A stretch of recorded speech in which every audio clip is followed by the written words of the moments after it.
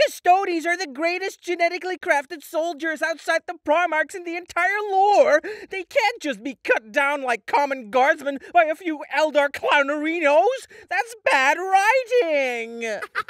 Stabby monkey.